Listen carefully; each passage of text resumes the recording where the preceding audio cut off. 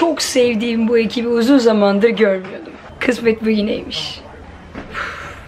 15 Ocak 2023'te başlayacak olan Survivor'da yarışacak olan isimlerden biri Buseplan oldu. 2019'da Ekatlon Türkiye yarışmasına katılan Buseplan, 2016'da Kadir Has Üniversitesi Yeni Medya bölümünden mezun olmuştur. Kendisini gezgin bir fenomen olarak tanımlıyor. Buseplan 1995 yılında dünyaya geldi. Kadir Has Üniversitesi Yeni Medya bölümünde eğitimi tamamlayan sosyal medya fenomeni YouTube ve Instagram üzerinden paylaşımlarını sürdürüyor. Kaykay, snowboard, surf yapıyorum. Atlarım, zıplarım ve boydan belli etmesem de iyi de basket oynarım özleriyle kendini tanımlıyor.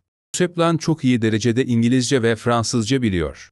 Bir ara cinsel tercihiyle ilgili yaptığı açıklamalarla gündem olan plan, ailesinin kendisini olduğu gibi kabul ettiğini belirterek, ben insan seviyorum arkadaşlar. Benim için gerçekten kadın erkek fark etmiyor. Dolayısıyla ben biseksüelim ve bunu söylemekten de çekinmiyorum diye ekledi. Seplan boyu ve kilosuyla da merak edilen ünlü isimlerden biridir. Minyon bir vücut yapısına sahip olan bu Seplan, yaklaşık olarak 1.55 boyundadır.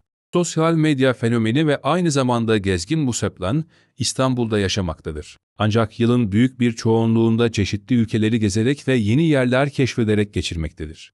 Bu Seplan şu ana kadar 45 ülke gezmiştir. Ekranların en uzun soluklu yarışma programı Survivor'da bu sezonda izleyicilere keyif dolu anlar yaşatacak. Seplan fenomenler takımında yarışacak.